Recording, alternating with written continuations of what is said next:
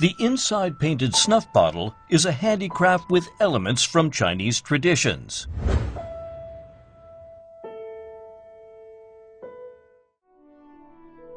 Snuff was popular in Europe in the 17th century. It was introduced in China in the late Ming Dynasty and early Qing Dynasty. At that time, snuff bottles mainly acted as containers for smokeless tobacco. In Chinese hands, however, they turned into delicate expressions of art. Today, snuff as a habit is all but gone in the country, yet snuff bottles are prized as exquisite souvenirs and collector's items. It is the inside painting technique that has lent the pocket art such popularity. Inside painting is different from painting on the outside.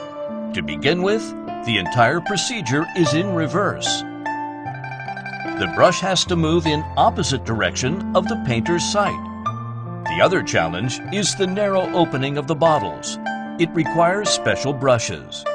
For the artist, it is difficult to see the position of the pen while painting, so it is a true test of one's artistic ability and patience.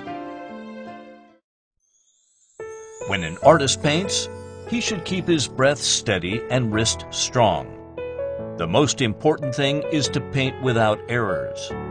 One wrong stroke will result in the rinsing of the entire work, and the artist has to start from the beginning again.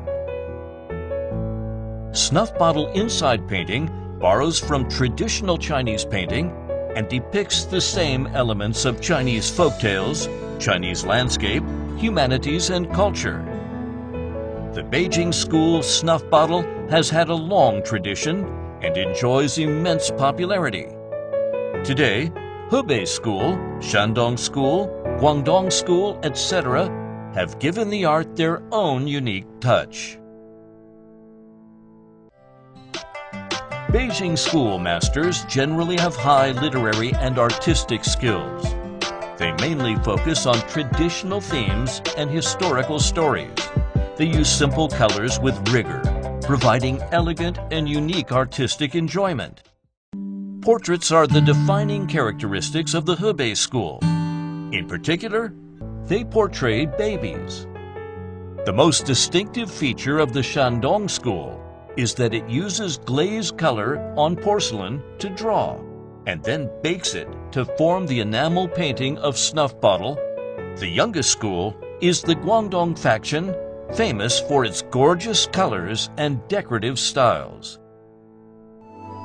Each square inch of a snuff bottle hides the painstaking labor that goes into it. It's the craftsman's spirit and charm of the Chinese art that are visible in the finished product.